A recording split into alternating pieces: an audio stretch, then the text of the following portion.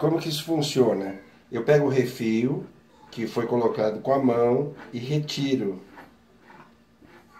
Retiro o refil que eu posso lavar, posso até pôr na torneira para dar um, uma limpada.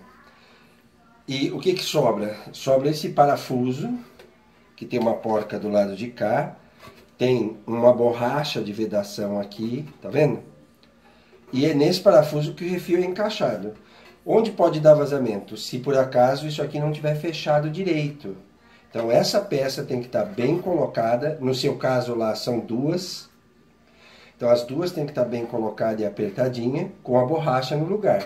Você pode pôr água e tampar o buraco e ver se pinga alguma coisa. Não é para pingar nada. E aqui no refil tem uma borracha. Tá vendo lá dentro uma borrachinha? Então eu venho aqui, coloco em cima, vou até o final e dou uma apertadinha. Pouca, com a mão, tudo com a mão. Não é para dar vazamento nenhum. O copo vai encher d'água aqui e vai passar pelo refil normalmente. Tá joia? Espero que isso aí ajude vocês a solucionar o problema. Qualquer coisa